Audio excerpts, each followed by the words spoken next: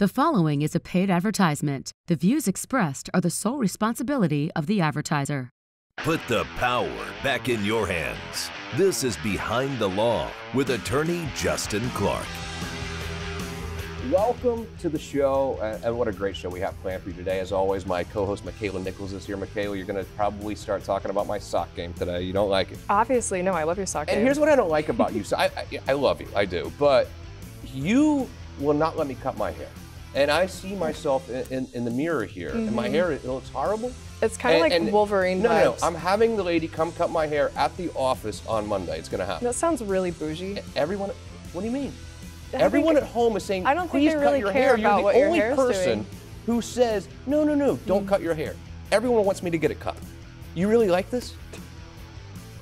This is just so. Yeah, Yes or no? yes, Just Yes, it's great. No, it's. I just think you know I don't want to offend people by them. You know. We have a great show today. You're going to learn. we? You're, oh, absolutely. You're going to learn a lot today. Here's the deal. So one of my, my good buddies is is probably the best employment lawyer in town. I know he's the best employment lawyer in town. Mm-hmm. Uh, I worked at the, the, the big the big firm here for a while. Started his own firm a few years ago. It's all about employment law. It- it is because you think about it. When you're an employee, things happen at times. Carlos Leach will join us today to talk about all things employment law and also workers' comp because workers' compensation is something you don't hear a lot about. And, and it's one of those things that I think that, that employees do need to know about. So I'm going to teach you a lot about workers' comp today, employment law. But then also, we see all the billboards, they say, uh, I got a million dollars from my personal injury accident.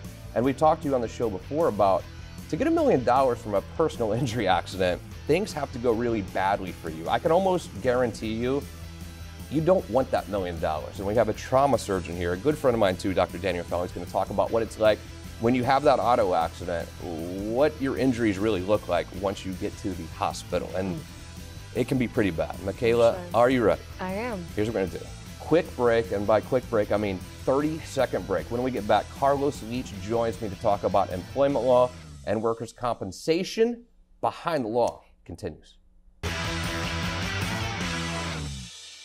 Having debt can leave you feeling helpless. I'm attorney Justin Clark. Filing for bankruptcy may give you the power to lower or even eliminate the payments that have you living paycheck to paycheck. Call me now for a free consultation or visit youhavepower.com and take back control of your life. Does student loan debt have you spinning out of control? You are not helpless. At Attorneys Justin Clark and Associates, our goal is to lower or even eliminate your monthly payments. Call me today or visit youhavepower.com and take back control of your financial life. What a treat I have today, and, and it's always a pleasure for me when I get to introduce you to not only a great lawyer, but someone who is a, a dear friend of mine. And, and Michaela, Carlos Leach is here, great guy. I can't figure out if he's a better lawyer or guy because it's both. Carlos Leach, welcome to the show, buddy. How are you? I'm doing great. Thanks for having me. You are uh, number one in this market, at least according to me, and I think most people too. If you ask any other lawyers, who's the best employment lawyer in town, it's uh, Carlos Leach. I have no doubt about it. But I want to start with workers' compensation because I think there's a lot of misconceptions about workers' compensation and workers' comp is different than personal injury. If you get hurt on the job, it is totally different than getting hurt in an automobile accident. What is the difference? You're absolutely right. First of all, uh, that's one of the first things we have to explain to clients when, when they come to us and ask us questions about workers' compensation. But in general, you get two basic benefits from being hurt on the job. One, you get medical benefits, and two, you get what we call indemnity benefits, which is either lost wages or permanent disability benefits. But that's it. You don't get other things that are common to personal injury cases like pain and suffering and uh, loss of enjoyment of life, or even if your spouse had a claim. Those things are not uh, possible in a workers' compensation claim. And we must explain that to these clients in the beginning, or otherwise, there might be some common misconceptions. So, and let me ask you straight up it's better to get injured in a personal injury claim than a workers' comp claim at the end of the day. in general. Um, and then listen, at the end of the day, you're still injured. Yeah. Right. Uh, I don't know that people can can uh, retroactively go back and make a choice. Right. But at the end of the day, you usually can get more benefits through a personal injury case. You know, it's weird if you're uh, an employee and, and you're working for someone and, and you like your boss. I mean, you, you like your coworkers and you don't want to be the guy who gets injured on the job and, and you feel like a, a wuss, kind of. You, Right. you feel bad. You, you don't want to get your boss in trouble.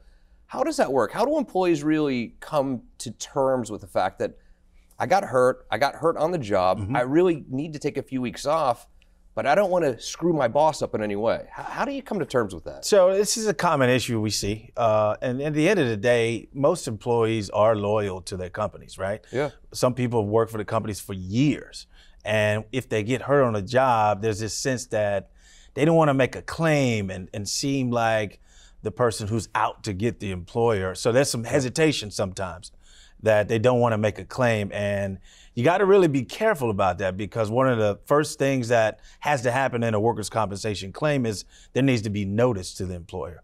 Uh, it's got to be fair that the employer is aware of the accident and the injury. Uh, in Florida, notice has to happen within 30 days.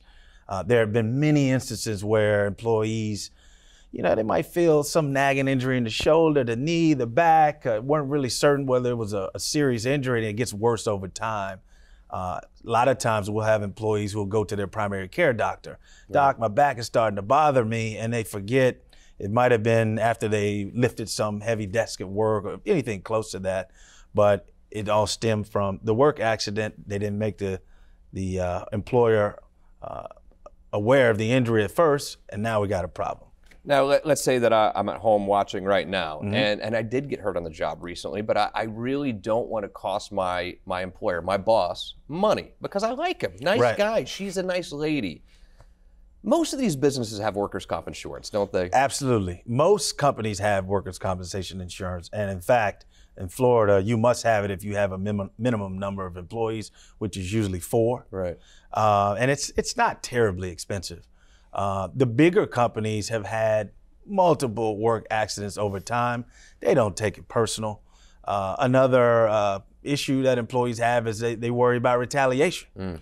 They worry whether they're going to be fired, demoted, suspended, or lose out on benefits because they've been hurt on the job. That's a big hurdle a lot of times. Now, if I'm an employer and, and I have one of my employees who, who does file a workers' compensation claim, can I just fire them? Can I retaliate against them or no?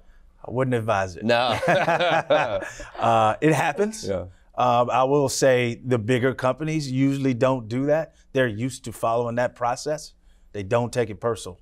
Mid-sized companies, sometimes they do. Smaller companies, for sure.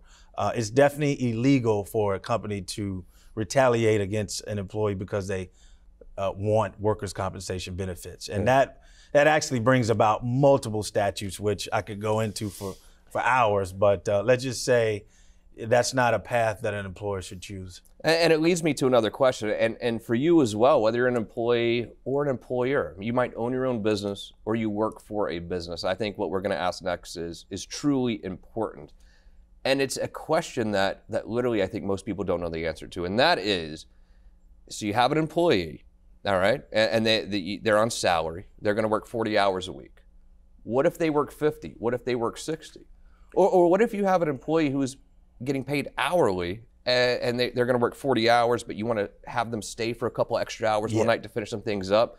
This overtime thing, it's very confusing for people. Whether it's an It is. employee or an employer, overtime is confusing. What is the law on overtime? So you hit on a, a huge issue, which I always always say, the salary overtime issue is probably one of the biggest misconceptions there is.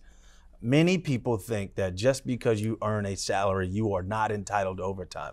That is not true. It's far from true. The general rule is typically an employee is entitled to overtime if they work more than 40 hours within a work week. The exceptions are if you're a salary worker and you are uh, in uh, mid to high level management, or uh, for example, you are a professional like a, a, a nurse or a doctor or a lawyer. Those people fall within certain exceptions, but generally speaking, most employees are eligible for overtime. And the burden is on the employer to make sure they keep track of these hours, that they document it, and they pay the employees uh, basically time and a half their normal regular rate of pay. And there are consequences if you don't do that. Um, the damages can be very hefty. You know, an employee obviously can receive time and a half. There's this damage called liquidated damages, which means it's double whatever the regular damages were. You have to pay attorneys uh, if they're successful for litigating these cases. And the worst case scenario is if you've got 100 employees where you misclassify them, now you might have a class action on your hand.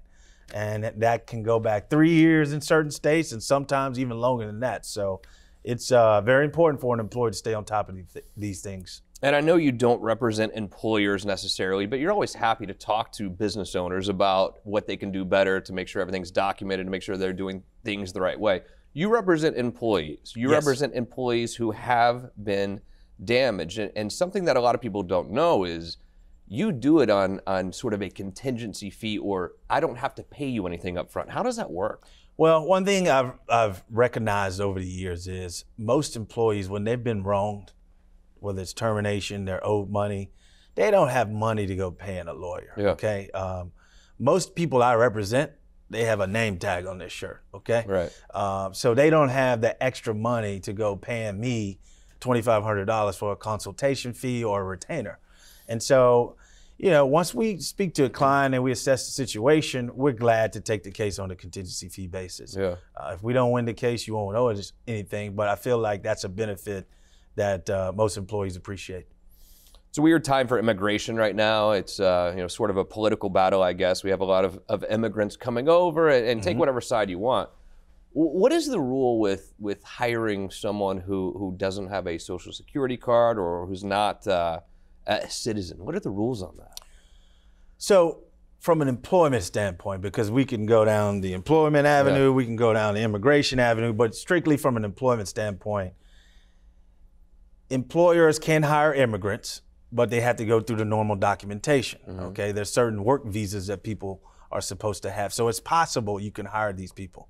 But what we see is a lot of the employers don't go through the proper channels, and uh, the effect is the employer can be fined, and it could also cost the employee certain benefits. For example, uh, we see this very common, commonly in Florida. Uh, undocumented worker gets hurt on the job. Yeah, Are they entitled to benefits? Typically, they're only entitled to medical benefits, not lost wages, which is a shame because you know most of these people work just as hard as their coworkers, harder. and you know the employer reaps the benefit of this person working just like anyone else. But that's the way the law is structured, and that's what we have to deal with. Yeah. Carlos Leach, we love you, buddy. I feel like you're, you're doing God's work. I'm proud of you, by the way. Uh, I've seen you grow a lot recently, expanded in other markets. I just think you're a fantastic lawyer, fantastic guy. appreciate it. Carlos Leach, always a pleasure to see you. Thank you. Here's what we're going to do. A quick break when we return, as we talked about earlier. And Makaila, I, I know that, that this is scary for you. You don't like blood, okay? I, I don't. But I think it's important that you you get to understand because it seems like we celebrate right now these personal injury sell, settlements. Uh, I made a million dollars. I made five hundred thousand dollars, and I want to be very clear with you. To to get a million dollars in a personal injury settlement, you are very badly injured. And when you see I got a million dollars, you probably walked away with four hundred thousand. Or if you you see I got five hundred thousand, you probably walked away with two hundred fifty thousand or two hundred thousand. I have a trauma surgeon, one of the best ones here in the Central Florida area, to tell us what those injuries actually look like when you go to that hospital. Behind the law continues.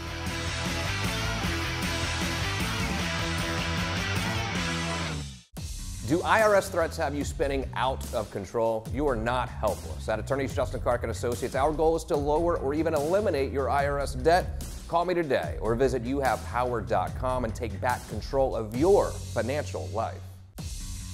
Does credit card debt have you spinning out of control? You are not helpless at Attorneys Justin Clark and Associates. Our goal is to lower or even eliminate your credit card debt. Call me today or visit youhavepower.com and take back control of your financial life.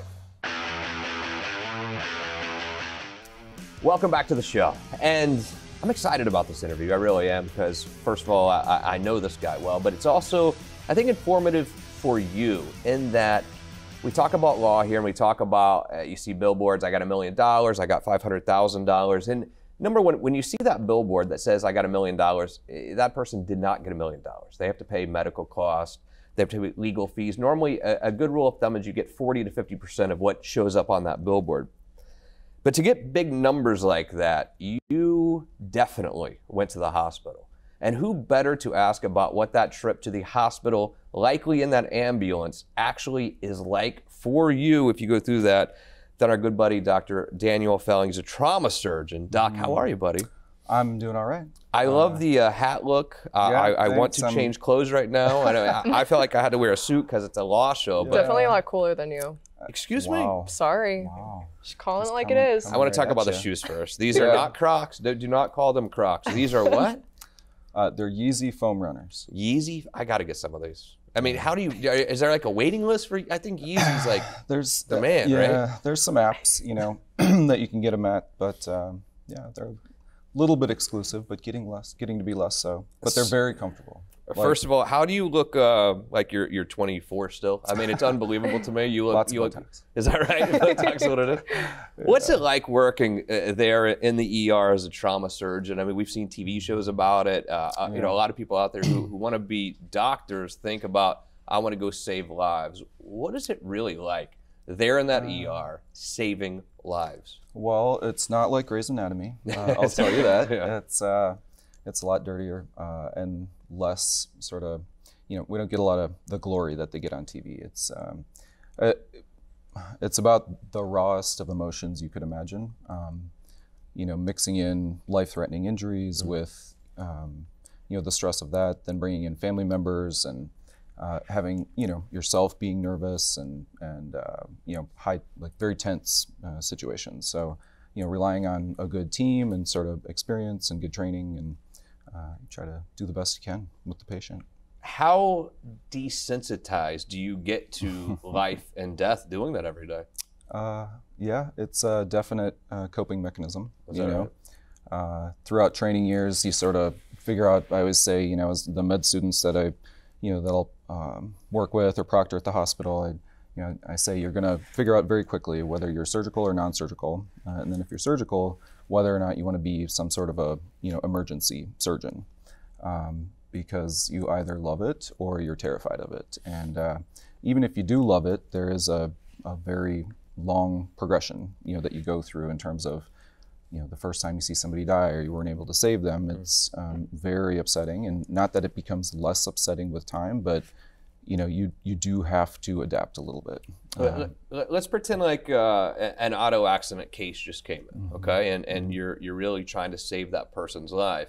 I imagine many times when that case comes in, Mm-hmm. there's also family members right outside that door. How do you go from trying to save a life to Mm-hmm. then also walking through those those double doors that swing open and talk to that family? How does that work? Yeah, it's uh, it, it that part never gets easier. Yeah. I mean, you know, and I, you know, having to tell a you know a spouse or you know parents that they, you know, their loved one just perished or you know is in critical condition, we're having to rush them off to the operating room. Um, yeah, it's uh, there's just no good way to do it. Um, so it's yeah, it's stressful. You try to be compassionate. You try to empathize with them, but you know at the same time, if and you know especially if you're going to surgery with the patient, it has to be expeditious. So you try to provide a quick update, and you know they always have a million questions, which you know I would too if I Yeah. were them. Sure. Um, but you got to sort of develop a strategy in terms of giving them the pertinent information, and then you know getting on your way. So. You're staring at me. Well, you yelled. so you don't know. Makaila yelled at me during the break I about did. not giving her an opportunity to ask Carlos Leach a question. I can tell you're interested. Well, there was a lot of gravity in what he was just I saying. know. Like I can't imagine being a, like in a situation like that. Yeah. But I mean, obviously, let's say you save people's lives every day, right? Mm-hmm. So after that, I mean, obviously, there's a lot of expenses with that, and I'm sure a lot of people. I mean, you never anticipate that. Do you ever have to talk to them about that? Or Never. No. That uh, you know we have a behind the scenes team. You know the case managers. You know different financial people will come and gather all that information. Um, we you know we care for anybody. Uh, it doesn't matter if they have insurance or not. They come into our emergency department. They need surgery. We're bringing them to the operating room. I think that is a great question, actually. I mean, it, it's somewhat church and state. You're there to save lives. You Absolutely. can care less how much money they have or how Yep. much insurance they have, Yep. and, and and you shouldn't be. I mean, it's mm-hmm. it- it's fully church and state, and I think that's how we should keep medical care. You you don't want to be sitting there thinking, well, Right. should I work, work harder to save this life or not? Yeah, it's you know the the great part about being a doctor um, in general is there's no cookbook way to do everything. Sure. You rely on your training, you rely on your experience, and there's different ways that you can sort of tailor. You know, it's sort of like artistry. You know, you kind of can get to the same endpoint, but you develop your own, you know, your own style. And um, you know, I don't want to be wasteful for sure, but I also, if I want a study done, if it's going to change my management of the patient, I want to be able to order it. And I think that's a, a very great point. And obviously, we're coming sort of, eh, hopefully, to the end of this pandemic. And uh, what was it like being in that ER as a trauma surgeon these last two years?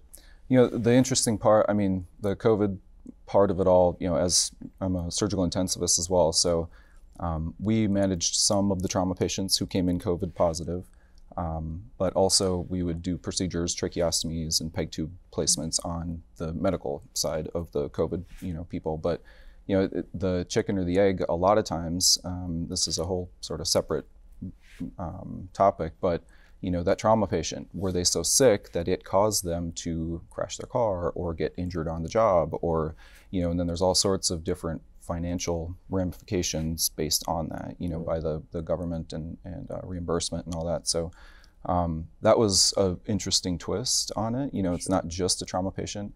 We at, in the early days we had to assume everybody was positive who came into you know our trauma bay so um, and people might not know when you when there's a trauma, it's either uh, if you're a stable patient, uh, you come in and just be seen by an emergency room doctor, and if they need us with trauma surgery, we'll come down and, and in consultation we'll see the patient. But if you're in a serious injury, and there's different criteria that the EMS providers go by, uh, but if you qualify for a trauma alert, uh, level one, which is the most serious, or a level two, which is slightly less serious, uh, the whole trauma team gets activated in the trauma bay, and so that includes the physician, you know, mid-level providers, uh, nurses, radiology techs, lab techs. Everybody converges in the trauma bay.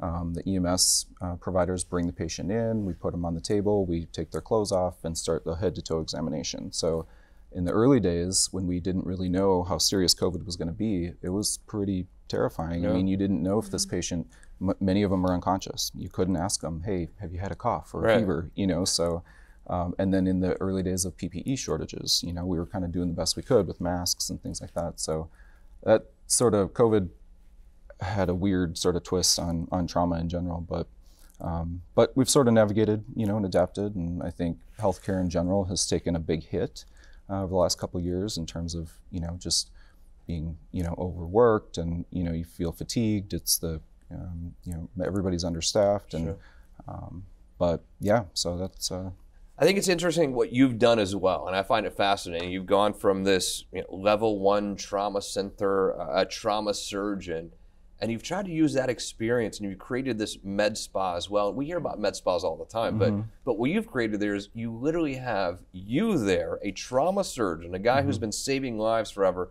overseeing all of that. Because sometimes when you hear med spa, you're like, okay, you, you go get like an 80 year old doctor and he'll Right. sign off on it. your medical director. Yeah. You're there, you're the mm-hmm. medical director, trauma surgeon to make sure all of your patients and customers at this med spa are safe. Tell me about the med spa.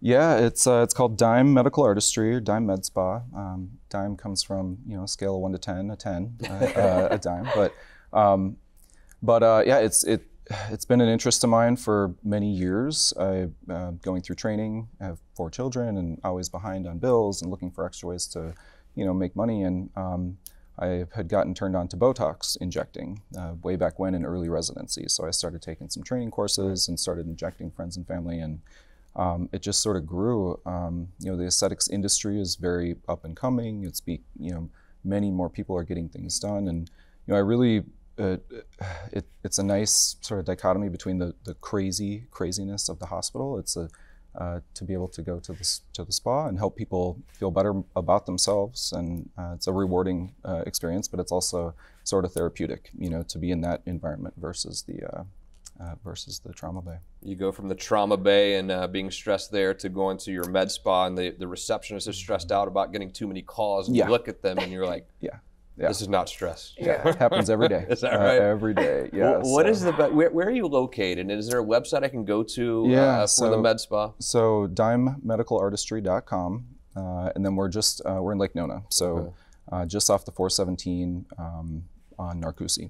So Uh, real quick in about 45 seconds too Mm-hmm. because i want to tie this back into to law a little bit because we celebrate these personal injury cases Mm-hmm. in this market we celebrate having these auto accidents What is that person who comes in, who ultimately ends up on a billboard saying, "I got a million dollars"? What do they look like when you see them in the in the trauma bay? You're, you know, there are still shots. You're not watching that patient walk. You're not seeing the, you know, usually months or even years of pain that they've been through Yeah. to get to that point. Um, they smile big and get makeup on, and they get applauded for having won uh, X number of dollars. But the pain and suffering they go through uh, is, you know, as I can attest to, uh, excruciating uh, often. So.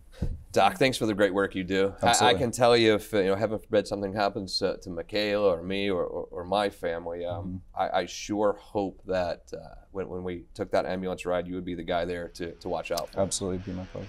Unbelievable. Yep. Well, thank Dr. you for- Daniel Felling, great to have you time. here. Appreciate what, it. What a pleasure it was. Yep. Quick break. When we return, what did Makaila learn? Behind the Law continues. I'm here with Stephen Bader, the COO of IQ Power Solar. Steve, as you know, I went solar at my house with IQ Power Solar. Thank goodness that I did. There are a lot of door knocking companies out there. There are a lot of these sales organizations that pretend to do solar. They are not IQ Power Solar. What separates you? Well, yeah, I mean, it's an exciting industry and a lot of people are getting into it, and uh, that's a good thing, right? For the most part. No one says, oh, I want to just put as many panels on the roof. That's not a good investment. We understand home energy, we understand how to get the best return on your investment, and we understand that at the end of the day, you're not buying a solar system. No one says, I can't wait to get up and look at my system. You're buying an outcome. So that's what we focus on. We focus on an outcome, a promise, someone hold accountable for that promise, and, a, and you know, a 40 year commitment to it. So that's what we do. Uh, really, what made us switch to solar was our electric bill was insane. It was six, seven hundred dollars a month. What made me choose IQ Power was I had a bunch of people obviously come knock on my door, um, and I just went through and did some research on it. I liked that they were all under one contract. It wasn't uh, multiple contractors. Everything was handled through the same uh, individual, um, and they knocked everything out in a timely manner and really worked it out for us. They had the best warranties and guarantees in the business, and my wife really liked that. Um, and they were fantastic to, uh, to work with. Thank you for what you did for me and my family, Steve, IQ Power Solar. Do yourself a favor, give IQ Power Solar a call today. You will not regret that decision. It's my pleasure. Thanks for having me. And as always, we wrap it up with what did Makaila learn today, Makaila? What did you learn? There's a lot of pressure there. Why do Just- I feel like you're going to go straight honest. Botox now? We talked about so many important issues, and I know for a fact you're going to go straight Botox right no, now. I think it's really important that people are able to receive workers' comp if you're hurt on the job. Um, super important. I feel like you scripted this. I, No, I didn't. I, would have bet I- you my house you would go right not. to Botox here. No, I I'm trying not to. And then you um, went so I'm straight to stalling. workers' comp is important. It's very important, and uh, you should definitely, if you're hurt, reach out to to our friend. Um, and then you know our, our lovely doctor friend that was on. I can't imagine the work that he does. That's crazy, I know. Um, He's truly a you know, God sent. And uh, I also learned that I might go to the med spa. So, yeah. Excellent job as always. Makaila Nichols, always a pleasure to share the stage with you. Uh, to Carlos Leach, to Dr. Felling, a- and our great crew here as always. Most importantly, thank you for joining us. I hope you have a great week, and we'll see you next week for more Behind the Law.